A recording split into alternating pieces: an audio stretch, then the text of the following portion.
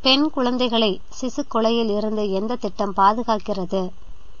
தொட்டில் குழந்தை திட்டம் ஆயிரத்தி தொள்ளாயிரத்தி தொண்ணூத்தி இரண்டு. ஐம்பத்தேழு.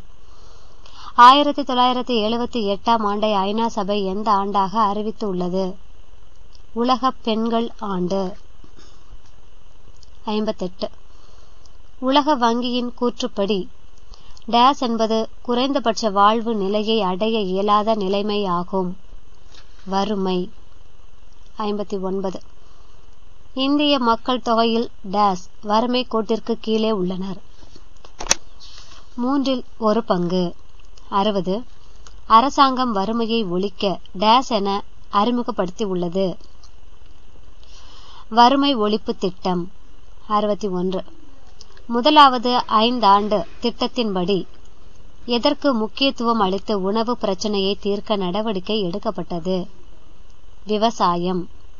இரண்டு நான்காவது ஐந்தாண்டு திட்டத்தின் கால அளவு என்ன? ஆயிரத்தி தொள்ளாயிரத்தி அறுபத்தி ஒன்பது முதல் ஆயிரத்தி தொள்ளாயிரத்தி எழுபத்தி நாலு வரை. அறுபத்தி மூன்று வறுமை ஒழிப்பிற்கு முக்கியத்துவம் தந்த ஐந்தாண்டு திட்டம் எது? ஐந்தாவது ஐந்தாண்டு திட்டம் எழுபத்தி நாலு முதல் எழுபத்தி ஒன்பது வரை. அறுபத்தி நாலு ஏழாவது ஐந்தாண்டு திட்டத்தின் கால அளவு என்ன?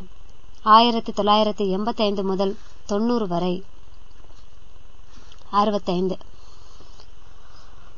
இந்திய அரசாங்கம் டேஸ் திட்டத்தின் மூலம் வேலையில்லாதோருக்கு வேலை வாய்ப்பை வழங்கி வறுமை ஒழிப்பு நடவடிக்கைகளை மேற்கொண்டது. ஜவஹர் ரோஜ்கார் யோஜனா திட்டம். அறுபத்தாறு. இந்தியாவின் முன்னாள் பிரதமரான யாரால் இருபது அம்ச திட்டம் கொண்டு வரப்பட்டது?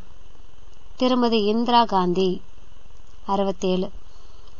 இந்திய அரசாங்கம் டேஸ் திட்டத்தின்படி மக்களுக்கு அதிகபட்ச வேலைவாய்ப்பு கிடைக்க வழிவகுத்தது.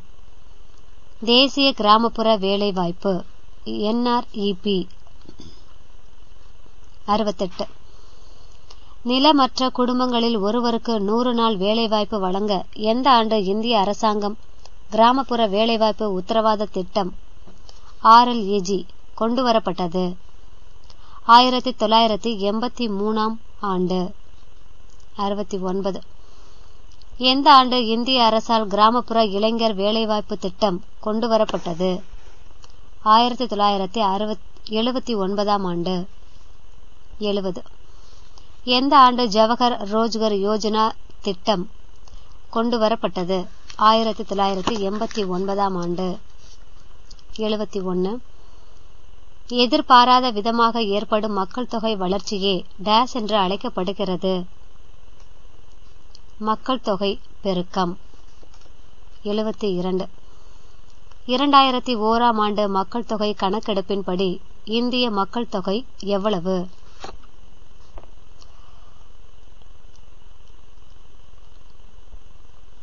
நூத்தி இரண்டு கோடியே எழுபது லட்சத்து பதினைந்தாயிரத்தி இருநூத்தி நாற்பத்தி ஏழு. எழுபத்தி மூணு. உலக மக்கள் தொகை நாளாக கொண்டாடப்படும் நாள் எது? ஜூலை பதினொன்று. பாடம் மூன்று. மனித உரிமைகளும் ஐக்கிய நாடுகள் சபையும். ஒன்று. சமுதாயத்தில் மனிதன் சமூகமாக வாழ தேவையான நிலையை டேஸ் என அழைக்கின்றோம். உரிமை. இரண்டு. உரிமையின் என்பன சமூகத்தால் அங்கீகரிக்கப்பட்டு அரசால் நடைமுறைப்படுத்தப்படுவதாகும். இது யாருடைய கூற்று ஆகும்? பேரறிஞர் பொசாங்கேர். மூன்று. ஐநா தினமாக கொண்டாடப்படும் நாள் எது? அக்டோபர் இருபத்தி நாலு நாலு. அனைத்துலக மனித உரிமைகள் பிரகடனம். எப்போது ஐநா சபை நிறைவேற்றப்பட்டது? ஆயிரத்தி தொள்ளாயிரத்தி நாற்பத்தி எட்டாம் ஆண்டு டிசம்பர் பத்தாம் தேதி. ஐந்து. மனித உரிமைகள் தினம் எது? டிசம்பர் பத்து. ஆறு. மனித உரிமைகள் பிரகடனம் எத்தனை சரத்துகளை கொண்டது? முப்பது சரத்துகள். ஏழு. ஆயிரத்தி தொள்ளாயிரத்தி தொண்ணூத்தி மூணாம் ஆண்டு எங்கு மனித உரிமைகள் மாநாடு நடைபெற்றது? வியன்னா. எட்டு. தேசிய மனித உரிமைகள் ஆணையத்தை டெல்லியில் எந்த ஆண்டு இந்திய அரசாங்கம் ஏற்படுத்தியது? கிபி ஆயிரத்தி தொள்ளாயிரத்தி தொண்ணூத்தி மூணாம் ஆண்டு அக்டோபர் பனிரெண்டு. ஒன்பது. இந்திய மனித உரிமைகள் ஆணையம் ஒரு தலைவரையும் எத்தனை உறுப்பினர்களையும் கொண்டது? நான்கு உறுப்பினர்கள். பத்து. இந்திய தேசிய மனித உரிமைகள் ஆணையத்தின் தலைவராக யார் இருப்பார்? ஓய்வு பெற்ற உச்ச நீதிமன்றத்தின் தலைமை நீதிபதி. பதினொன்று. இந்திய தேசிய மனித உரிமைகள் ஆணையத்தின் இரு உறுப்பினர்களை நியமனம் செய்பவர் யார்? குடியரசுத் தலைவர். பனிரெண்டு. தேசிய மனித உரிமைகள் ஆணையத்தின் தலைமையிடம் எங்கு உள்ளது? புதுதில்லி. பதிமூன்று.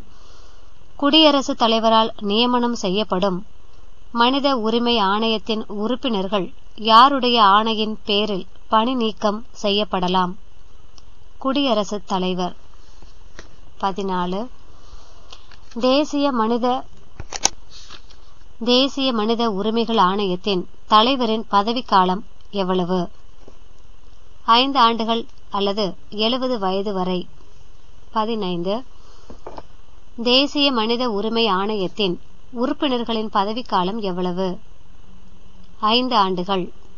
பதினாறு. யார் விரும்பினால் தேசிய மனித உரிமை ஆணையத்தின் உறுப்பினர்களின் பதவிக்காலத்தை மீண்டும் ஐந்து ஆண்டுகளுக்கு மறு நியமனம் செய்யலாம். குடியரசுத் தலைவர். பதினேழு. ஊடகங்கள் மூலமாகவும் கருத்தரங்கம் மூலமாகவும் டேஸ் பற்றிய விழிப்புணர்வை ஆணையம் ஏற்படுத்துகிறது. மனித உரிமை. பதினெட்டு. தேசிய மனித உரிமைகள் ஆணையம் டேஸ் குறிய அனைத்து அதிகாரங்களையும் பெற்றிருக்கிறது. வாழ்வியல் நீதிமன்றம். பத்தொன்பது. தற்போது தேசிய மனித உரிமைகள் ஆணையத்தின் தலைவர் மற்றும் பொதுச் செயலாளர் யார்? நீதிபதி ஜி. பாலகிருஷ்ணன். இருபது. தமிழ்நாட்டில் மாநில மனித உரிமைகள் ஆணையம் எப்போது உருவாக்கப்பட்டது? ஆயிரத்தி தொள்ளாயிரத்தி தொண்ணூத்தி ஏழாம் ஆண்டு ஏப்ரல் பதினேழு இருபத்தி ஒன்று. மாநிலத்தின் மனித உரிமைகள் ஆணையத்தின் தலைவராக யாரை நியமிப்பர்? உயர் நீதிமன்றத்தின் ஓய்வு பெற்ற தலைமை நீதிபதி. இருபத்தி இரண்டு. தற்பொழுது தமிழகத்தின் மனித உரிமைகள் ஆணையத்தின் தலைவர் யார்? நீதிபதி ஏ எஸ் வெங்கடாசலமூர்த்தி. இருபத்தி மூன்று மாநில மனித உரிமைகள் ஆணையத்தின் உறுப்பினர்கள் முறை தவறி செயல்பட்டால் அவர்களை பணி நீக்கம் செய்பவர் யார்? மாநில ஆளுநர். இருபத்தி நாலு மாநில மனித உரிமைகள் ஆணையம் ஆண்டுதோறும் யாருக்கு தனது அறிக்கையை அனுப்புகிறது? மாநில அரசாங்கத்திற்கு. இருபத்தைந்து. மாநில அரசாங்கம் மாநில மனித உரிமைகள் ஆணையத்தின் ஆண்டு அறிக்கையை எதில் தாக்கல் செய்யும்? சட்டமன்றம். இருபத்தாறு. இந்து விதவை மறுமண சட்டம் எந்த ஆண்டு சட்டபூர்வமாக்கப்பட்டது? ஆயிரத்தி எண்ணூத்தி ஐம்பத்தி ஆறாம் ஆண்டு. இருபத்தேழு. டேசாம் ஆண்டு இந்து திருமண சட்டத்தின்படி பெண்களின் திருமண வயதை இருபத்தி ஒன்று ஆக நிர்ணயம் செய்துள்ளது. ஆயிரத்தி தொள்ளாயிரத்தி ஐம்பத்தி ஐந்தாம் ஆண்டு இருபத்தெட்டு. டேசாம் ஆண்டு இந்து வாரிசு சட்டத்தின்படி தாய் தந்தையரின் சொத்தில் பெண்களுக்கு சம உரிமை வழங்கப்பட்டது. ஆயிரத்தி தொள்ளாயிரத்தி ஐம்பத்தி ஆறாம் ஆண்டு இருபத்தி ஒன்பது. வரதட்சணை வேண்டி பெண்களை கொடுமைப்படுத்துவது கடுமையான தண்டனைக்குரிய குற்றமாக கருத வழி செய்த சட்டம் எது? ஆயிரத்தி தொள்ளாயிரத்தி அறுபத்தி ஓராம் ஆண்டு வரதட்சணை தடை சட்டம். முப்பது. சுயமரியாதை திருமணங்களை சட்டப்பூர்வ திருமணங்களாக அங்கீகரித்த சட்ட திருத்தம் எந்த ஆண்டு கொண்டு வரப்பட்டது? ஆயிரத்தி தொள்ளாயிரத்தி அறுபத்தி ஏழாம் ஆண்டு. முப்பத்தி ஒன்று. எந்த ஆண்டு தமிழக அரசு பெண்களை கேலி செய்வதை தடுக்க சட்டம் இயற்றியுள்ளது? ஆயிரத்தி தொள்ளாயிரத்தி தொண்ணூத்தி ஏழாம் ஆண்டு. முப்பத்தி இரண்டு. தமிழக அரசு எந்த ஆண்டு பெண்களை அநாகரிகமாக சித்தரித்து சுவரொட்டிகள் வெளியிடுவதை தடை செய்துள்ளது? ஆயிரத்தி தொள்ளாயிரத்தி தொண்ணூத்தி ஒன்பதாம் ஆண்டு. முப்பத்தி மூன்று. தொழிற்கூட சட்டம் எந்த ஆண்டு கொண்டுவரப்பட்டது? ஆயிரத்தி தொள்ளாயிரத்தி நாற்பத்தி எட்டாம் ஆண்டு. முப்பத்தி நாலு. தோட்ட தொழிலாளர் சட்டம் எந்த ஆண்டு கொண்டு வரப்பட்டது? ஆயிரத்தி தொள்ளாயிரத்தி ஐம்பத்தி ஓராம் ஆண்டு. முப்பத்தைந்து. எந்த சட்டம் ஆண் பெண் வேறுபாடின்றி சம ஊதியம் வழங்க வழிவகை செய்தது? ஆயிரத்தி தொள்ளாயிரத்தி ஐம்பத்தி இரண்டாம் ஆண்டு சுரங்க சட்டம். முப்பத்தி ஆறு. எந்த சட்டம் பேறுகாலத்தில் பெண்களுக்கு முறையான ஊதியம் வழங்க வழிவகை செய்யப்பட்டது. ஆயிரத்தி தொள்ளாயிரத்தி அறுபத்தி ஓராம் ஆண்டு பெண்களின் உடல் நலம் காக்க பேறுகால பயன் சட்டம் முப்பத்தி ஏழு சர்வதேச பெண்கள் தினம் எது? மார்ச் எட்டு முப்பத்தெட்டு. பெண்கள் உரிமைகள் மனித உரிமையகமே. மனித உரிமைகள் பெண்கள் உரிமைகளே. என உலக பெண்கள் எப்போது எங்கு கூடி முழக்கமிட்டனர்?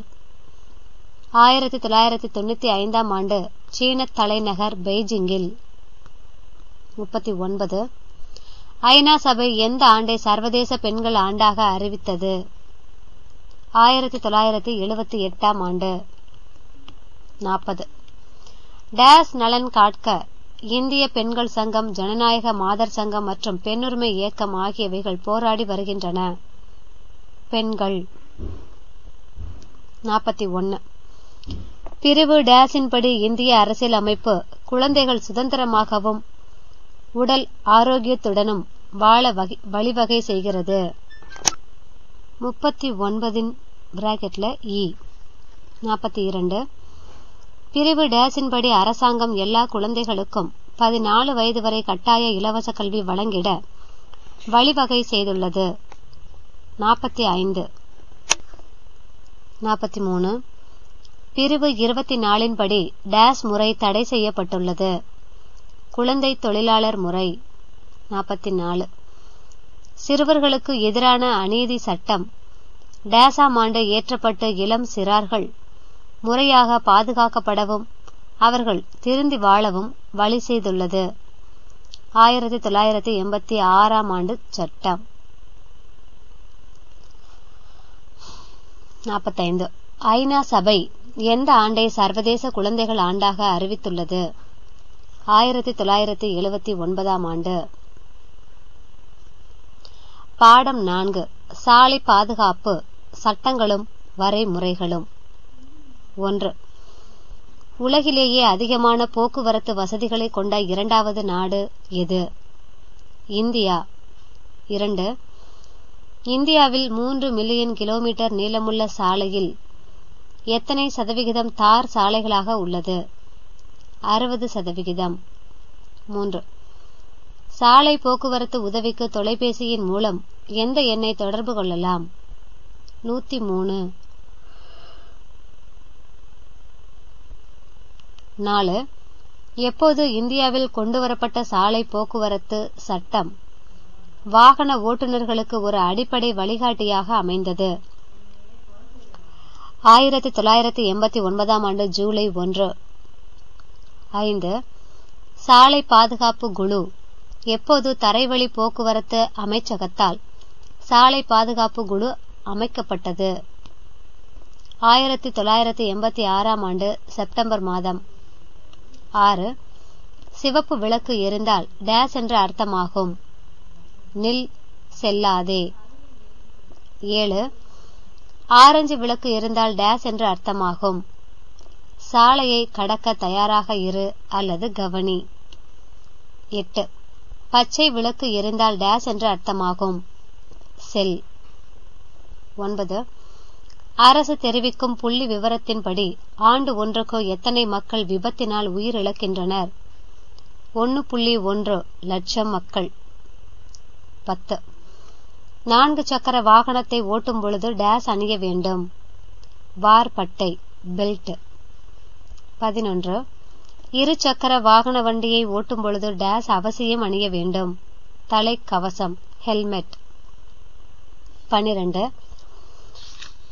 பாதசாரிகள் டேஸ் கோடுகள் போடப்பட்டுள்ள இடத்தில் மட்டுமே சாலையை கடக்க வேண்டும். மஞ்சள் கோடுகள். பதிமூணு.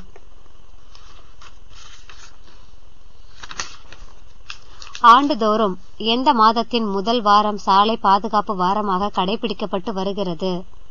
ஜனவரி பதினாலு. இரண்டாயிரத்தி எட்டு இரண்டாயிரத்தி ஒன்பதாம் ஆண்டு எவ்வளவு ரூபாய் சாலை பாதுகாப்பு விழிப்புணர்வுக்காக அரசு செலவிட்டுள்ளது? ஐம்பத்தைந்து லட்சம் பதினைந்து. இரண்டாயிரத்தி ஐந்தாம் ஆண்டு ஏற்பட்ட எட்டாயிரத்தி எண்ணூத்தி நாற்பத்தி நாலு விபத்துகளில் எத்தனை பேர் இறந்துள்ளனர்? ஒன்பதாயிரத்து எழுநூற்று தொண்ணூறு பேர்கள். பதினாறு.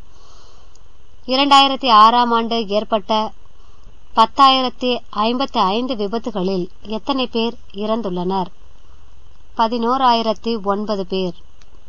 பதினேழு. இரண்டாயிரத்தி ஏழாம் ஆண்டு ஏற்பட்ட பதினோராயிரத்தி முப்பத்தி நாலு விபத்துகளில் எத்தனை பேர் உயிரிழந்துள்ளனர்? பனிரெண்டாயிரத்தி முப்பத்தி ஆறு பேர்கள். பதினெட்டு. இரண்டாயிரத்தி எட்டாம் ஆண்டு ஏற்பட்ட பதினோராயிரத்தி எண்ணூத்தி பதிமூணு விபத்துகளில் எத்தனை பேர் இறந்துள்ளனர்? பனிரெண்டாயிரத்தி எழுநூத்தி எண்பத்தி நாலு. பத்தொன்பது. இரண்டாயிரத்தி ஒன்பதாம் ஆண்டு ஏற்பட்ட பனிரெண்டாயிரத்தி எழுநூத்தி இருபத்தி ஏழு விபத்துகளில் எத்தனை பேர் உயிரிழந்துள்ளனர்? பதிமூணாயிரத்தி எழுநூத்தி நாற்பத்தி ஆறு பேர். பெண் குழந்தைகளை சிசு கொலையில் இருந்து எந்த திட்டம் பாதுகாக்கிறது?